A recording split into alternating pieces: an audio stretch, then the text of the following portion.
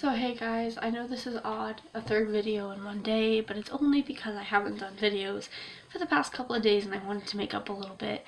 Um, I think for this video I'm going to do some of this.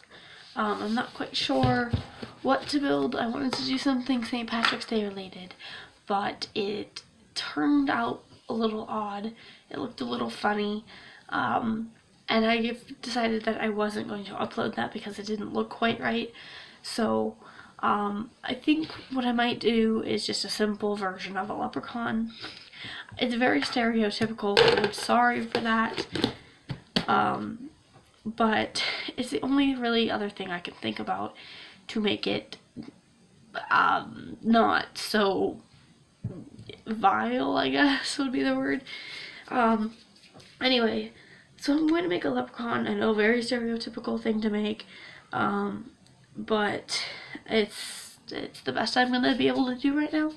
So I'm going to take a ball of clay about that big, roll it into a ball for the head, set it down, and then I'm going to take a piece and uh, say this big. And I'm going to flatten it out like, well, not like that because it broke, but like this. And I'm going to make one end of it wider like this and one end of it smaller like that. Because what I'm going to plan on doing with this is taking it and attaching it on the face to make a beard of sorts. Um, and the nose will kind of like poke up right there.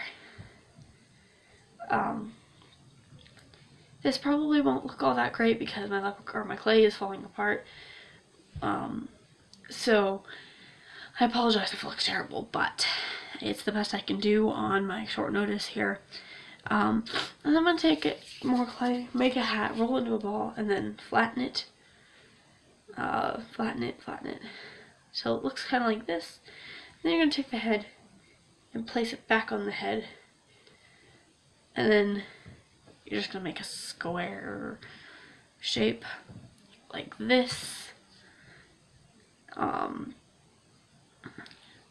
and set it on the head, head as well.